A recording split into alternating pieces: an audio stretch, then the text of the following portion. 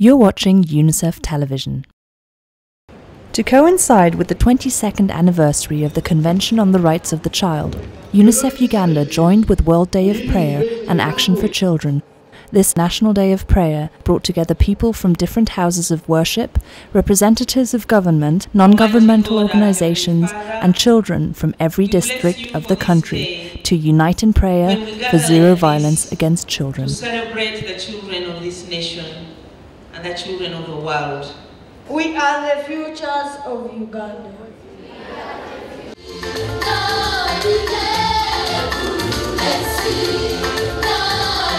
The faith based organizations have the presence, the credibility, and a relationship with the community in every single part of the country. And especially in Uganda, where almost 85 to 90 percent of the people go to the place of worship every week, I think the faith based organizations have a critical role to play in uh, establishing and changing societal behavior. While significant progress has been made in reducing child mortality and increasing child health in Uganda, many children are still subjected to violence, exploitation, and abuse.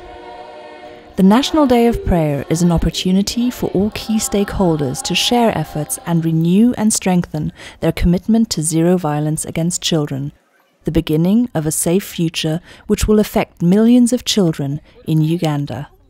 This is Karen Bridger reporting for UNICEF Television. For more information, go to unicef.org. Unite for Children.